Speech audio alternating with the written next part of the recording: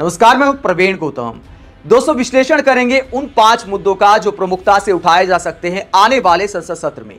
नई सरकार बनने के बाद पहले संसद सत्र में विपक्ष जिन पाँच मुद्दों को उठाएगा, वो मोदी सरकार की टेंशन बढ़ाने वाले हैं। और पीएम मोदी के लिए टेंशन की बात यह है कि विपक्षी दल जिन मुद्दों को उठाएँगे, उनमें कई ऐसे मुद्दे हैं, जिनमें बीजेपी के सहयोगी दल, एनडीए के पार्टनर भी विपक्ष की हाँ में हाँ मिला सकते हैं। ऐसे में मोदी सरकार क्या झुकने को तैयार हो सकती है? बारी बारी से पाँचों मुद्दों का विश्लेषण करते हैं। पहला मुद्दा है भारतीय न्याय संहिता का। भारतीय न्याय संहिता इंडियन पेनल कोड की जगह एक जुलाई से देश भर में लागू हो जाएगी। लेकिन पश्चिम बंगाल की मुख्यमंत्री ममता बनर्जी ने संसद सत्र से पहले इस पर सवाल उठा दिए हैं और पीएम मोदी के नाम एक चिट्ठी लिखी है ममता बनर्जी ने। और इस चिट्ठी में क्या सवाल उठाया है ममता बनर्जी ने? ममता बनर्जी ने कहा है कि एक जुलाई से इन कानून को लागू ना किया जाए। और क्यों ये सवाल उठा रही हैं? उन तीन कानूनों पर चिंता जताई है ममता बनर्जी ने। भारतीय न्याय संहिता, भारतीय नागरिक सुरक्षा संहिता और भारतीय साक्ष्य अधिनियम 2023 ये तीन कानून संसद में पारित किए गए थे 2023 में और उस वक्त जो है संसद के बहुत सारे सदस्यों को निलंबित कर दिया गया था। और इसी को आधार बनाकर ममता अपनी चिट्ठी में पीएम मोदी को कहती हैं कि मैं अब आपके कार्यालय से आग्रह करती हूँ कि कम से कम कार्यान्वयन की तारीख को आगे बढ़ाने पर विचार करें। इसके दो कारण हैं, नैतिक और व्यवहारिक। और आगे ममता बनर्जी लिखती हैं कि आपकी पिछली सरकार ने इन तीन महत्वपूर्ण विधेयकों को एक तरफा और बिना किसी बहस के पारित कर दिया था। लोकसभा के लगभग 100 सदस्यों को निलंबित कर दिया गया था और दोनों सदनों के कुल 146 सांसदों को संसद से बाहर निकाल दिया गया था। अब इसकी समीक्षा होनी चाहिए। तो ममता बनर्जी मांग कर रही हैं कि लागू करने से पहले आने वाले संसद सत्र में इस मुद्दे पर एक बार फिर संसद में बहस की जानी चाहिए। विपक्षी सांसदों को सुना जाना चाहिए। तमाम राज्यों के जो सांसद हैं, उनके विचार को सुनकर कुछ समीक्षा होनी चाहिए, कुछ सुधार होना चाहिए। भारतीय न्याय संहिता में ये मांग करती है ममता बनर्जी। तो पहला मुद्दा हो गया भारतीय न्याय संहिता। दूसरा मुद्दा प्रमुखता से उठाया जा सकता है अग्निवीर का। और पीएम मोदी के लिए टेंशन की बात यह है कि बीजेपी के सहयोगी दल भी इस मांग को उठा रहे हैं कि अग्निवीर पर पुनर्विचार किया जाए। आपको याद होगा कि केसी त्यागी का एक बयान आया था कि अग्निवीर योजना पर विचार की ज़रूरत। और उसके बाद खबर यह भी सामने आई थी कि मोदी सरकार इस पर विचार कर भी रही है। सत्तर प्रतिशत अग्निवीरों को स्थायी नौकरी, ज़्यादा सैलरी और सात साल का कार्यकाल, इन सब मुद्दों पर विचार किया जा रहा है कि ऐसा बदलाव कर सकती है मोदी सरकार। क्योंकि सहयोगी दल भी अब मुद्दा उठाने लगे हैं। लोकसभा चुनाव में भी इस मुद्दे का भारी नुकसान हुआ है। ऐसा कई नेताओं का मानना है। इसीलिए अग्निवीर योजना का मुद्दा भी संसद में गूंज सकता है। दीपेंद्र हुड्डा ने बाकायदा इस पर प्रेस कॉन्फ्रेंस की थी और कहा था कि हम सात साल की नौकरी के लिए भी एग्री नहीं करते। हम चाहते हैं कि पुराना जो भर्ती का सिस्टम है, वही दोबारा से लागू किया जाए अग्निवीर को पूरी तरह खत्म किया जाए। तो अग्निवीर का मुद्दा एक बार फिर संसद में गूंज सकता है। दोस्तों तीसरा मुद्दा है शेयर बाज़ार का मुद्दा। आपको याद होगा कि राहुल गांधी ने प्रेस कॉन्फ्रेंस की थी। चुनाव के नतीजों के बाद प्रेस कॉन्फ्रेंस की थी कि जिस तरह एग्जिट पोल दिखाए गए और मार्केट एग्जिट पोल के बाद एकदम से ऊपर गई और उसके बाद चुनाव के नतीजे आए तो मार्केट धराशायी हो गई। लाखों करोड़ रुपए डूब गए निवेशकों के। आम आदमी जिसे शेयर मार्केट की समझ नहीं थी, इस सारे खेल की समझ नहीं थी, वो इसमें मारा गया और बहुत सारे लोग पैसा कमा गए। तो इस एग्जिट पोल को घोटाला बताते हुए, मिली भगत बताते हुए राहुल गांधी ने जेपीसी की मांग की थी।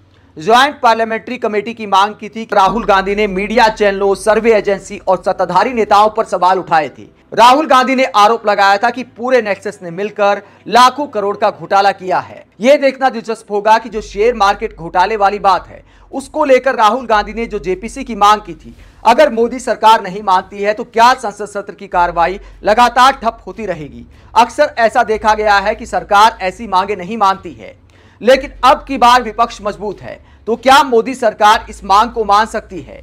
या फिर वैसा ही टकराव देखने को मिल सकता है, जैसा पिछले कई संसद सत्र में हुआ है, जिसकी वजह से कई सांसदों को सस्पेंड भी किया गया है। हालाँकि अब की बार विपक्षी दलों का मानना है कि विपक्ष मज़बूत है तो शायद मोदी सरकार ऐसी हिम्मत ना दिखा पाए।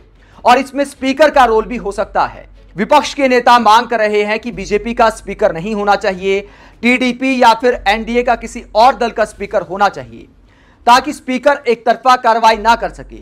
नीतीश कुमार की पार्टी में और चंद्रबाबू नायडू की पार्टी में कई नेताओं के साथ विपक्षी दलों की भी अच्छी खासी दोस्ती है। तो ऐसे में अगर टीडीपी का स्पीकर बनता है तो शायद विपक्षी सांसदों के साथ उतना बुरा व्यवहार नहीं किया जाएगा जितना पिछले सत्र में किया गया था। इसीलिए विपक्षी दल ये भी कहते हैं कि अगर बीजेपी का ही स्पीकर बनाया जाता है तो विपक्ष अपना उम्मीदवार उतारने पर भी विचार कर सकता है, भले हार जाए। लेकिन सांकेतिक रूप से विरोध ज़रूर किया जाएगा, ऐसा भी हो सकता है। ऐसे में पीएम मोदी ने विपक्षी दलों को मनाने की ज़िम्मेदारी राजनाथ सिंह को दी है। लेकिन देखना यह दिलचस्प रहेगा कि स्पीकर किसको बनाया जाता है, क्या टीडीपी का स्पीकर बनता है या बीजेपी का बनता है। दोस्तों, चौथा मुद्दा जो संसद में सबसे ज़्यादा गूंज सकता है वो है पेपर लीक का। तमाम दल ऐलान कर चुके हैं कि संसद में इस मुद्दे को उठाएँगे। राहुल गांधी ने बाकायदा छात्रों से मुलाकात की है और यह भी कहा है कि संसद में इसको पूरे तरीके से उठाया जाएगा, पुरजोर तरीके से उठाया जाएगा। पेपर लीक के मामले में नीट के पेपर लीक पर पहले से ही बवाल था। यूजीसी नेट की परीक्षा भी रद्द कर दी गई और लाखों छात्रों के भविष्य के साथ खिलवाड़ किया जा रहा है। और सरकार भी इस मामले में बैकफुट पर है। धर्मेंद्र प्रधान इस मुद्दे पर गलती मान चुके हैं।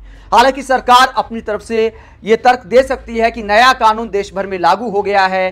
पेपर लीक के मामले में अब 10 साल की सजा और एक करोड़ के जुर्माने का प्रावधान कर दिया गया है। तो यह सरकार अपने डिफेंस में कह सकती है। लेकिन विपक्षी दल इस मुद्दे को प्रमुखता से उठाएँगे और सरकार से सवाल पूछे जाएँगे। दोस्तों, इसके अलावा पांचवा मुद्दा हो सकता है संसद में जो मूर्तियों को शिफ्ट किया गया है। आपको याद होगा कि कुछ दिन पहले महात्मा गांधी अंबेडकर सहित कई मूर्तियों को एक जगह शिफ्ट कर दिया गया। संसद के प्रांगण से हटाकर एक कोने में रख दिया गया है और इसको प्रेरणा स्थल का नाम दिया गया है। संसद में यह परिपाटी रही है कि तमाम मुद्दों पर विपक्ष के सांसद गांधी मूर्ति के सामने प्रोटेस्ट करते थे। वो प्रांगण में थी। अब कोने में शिफ्ट कर दिया गया है तो क्या सरकार की यह मंशा है कि गांधी मूर्ति के सामने विपक्ष के सांसद प्रोटेस्ट ना कर सके? इसी बात को विपक्षी नेता उठा रहे हैं।